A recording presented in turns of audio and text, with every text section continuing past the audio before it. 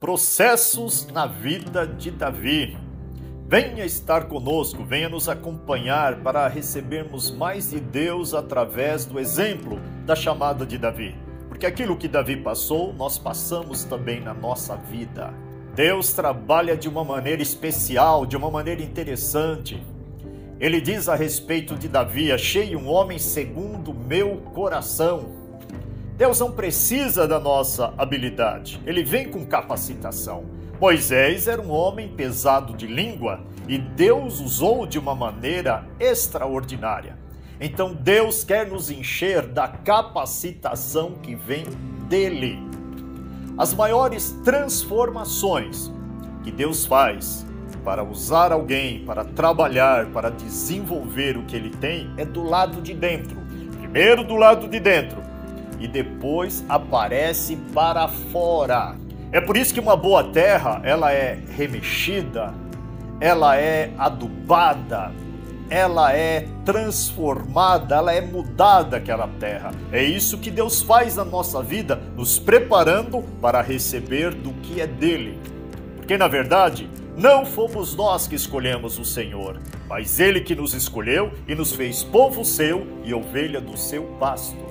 Se você não se inscreveu ainda no YouTube, venha se inscrever. Se você não clicou no joinha, no gostei, clique no joinha. Seja abençoado através dessa palavra. Você sabia que para chegarmos a amadurecer, para chegarmos a ser um vaso que estamos preparados para receber o que Deus tem para nos derramar, nós passamos pelo que Davi passou?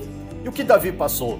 Pressões, aflições em luta em todas as áreas iguais você passa e eu passo. E quanto mais profunda é, é porque mais especial é aquilo que Deus tem para derramar. Teve período que Davi estava com seus homens, 400 homens, sem alimento. E ele pediu para um fazendeiro muito rico chamado Nabal um pouco de alimento e Nabal negou.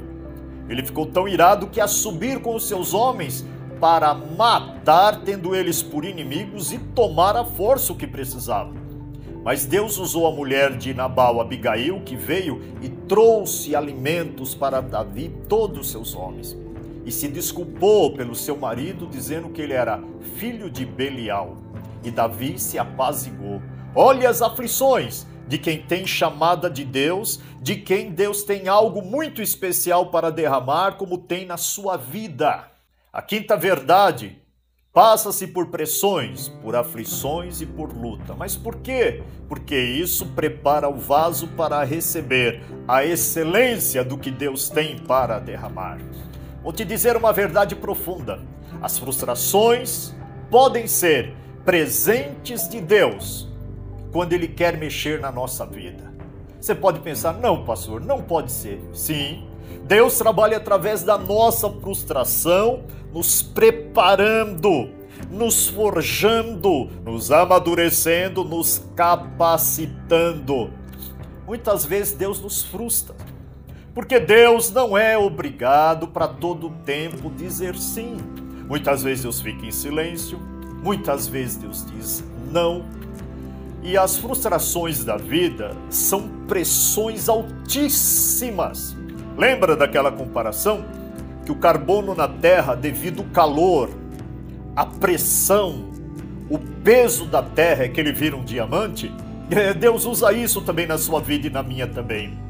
O calor das lutas, a pressão das frustrações, o peso da terra, que é o peso das responsabilidades e não conseguimos dar conta, não acontece como a gente espera. Tudo isso está nos lapidando para que Deus nos amadureça, para que Deus nos capacite e nos prepare para nos colocar na posição que Ele quer nos colocar. Muitas vezes a bênção de Deus para a tua vida e para a minha vida não está no momento de derramar. Nós já sabemos dirigir, mas não chegamos ainda de 18 anos e não fomos aprovados nessa prova. E como que se é aprovado? Passando na prova. E essas provas que Deus mandou para Davi, manda na sua vida, manda na minha vida também. O importante é sermos aprovados, amadurecemos em Deus, andarmos guiados pelo Espírito Santo do Senhor. Davi sofreu tão grande perseguição no deserto que ele chegou a morar na terra dos filisteus, na terra de Golias, o rei de Golias, inimigo do povo de Deus que Davi venceu, era o mesmo rei de Davi. Davi estava servindo o rei de Golias.